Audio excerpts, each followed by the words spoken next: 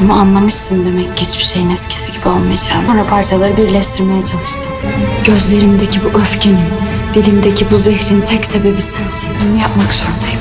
Halil ve Zeynep arasındaki tartışmalar artık son bulsun isteyenler, videomuzu beğenin kaç kişiyiz görmüş olalım, dizinin yeni bölümünde Halil'in Zeynep'i dinlemeden onu yargılaması, Zeynep'in canını oldukça sıkacak, Zeynep tam Halil'i affederken bir kez daha hayal kırıklığıyla karşı karşıya kalacak, onu kolayca affetmeyecek, Halil kısa sürede ihale hakkında bilgi verenin Tekin olduğunu öğrenecek, Zeynep'i üzdüğü için bin pişman olacak, Zeynep'in peşinden koşacağı sahneler, bizleri beklemekte, Zeynep ve Halil arasında yeni gelişmeler yaşanırken.